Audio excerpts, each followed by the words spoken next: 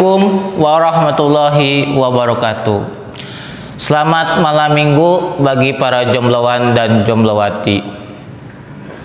Bertemu lagi dengan saya Adi Wijaya di malam minggu ini.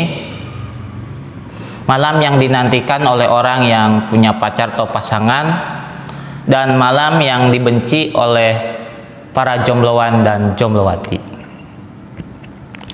Sebelumnya saya pengen bertanya kepada kalian semua.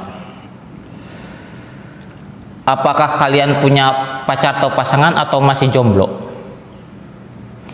Kalau feeling saya sih mengatakan bahwa kalian itu pasti masih jomblo. Bener kan? Bener lah, masa kagak? He. Karena feeling saya itu tajam setajam silet. Tuh kan bener. Kalau kalian tuh masih jomblo, karena kelihatan dari wajahnya yang selalu banyak pikiran gitu. Memikirkan kenapa saya itu jomblo terus.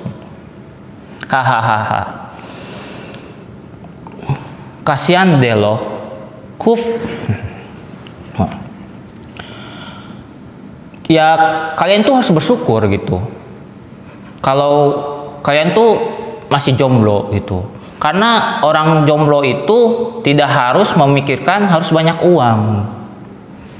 Karena orang yang punya pacar atau pasangan itu ya emang mereka harus memikirkan kita itu harus banyak uang.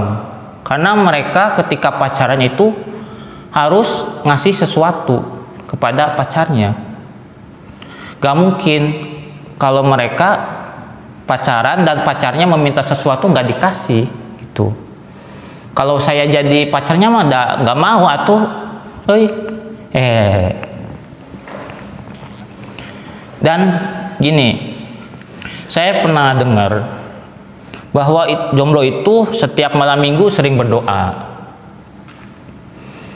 Do, bunyi doanya gini nih, ya Tuhan, tolong turunkanlah hujan beserta badai agar mereka tidak jadi pacaran di malam minggu ini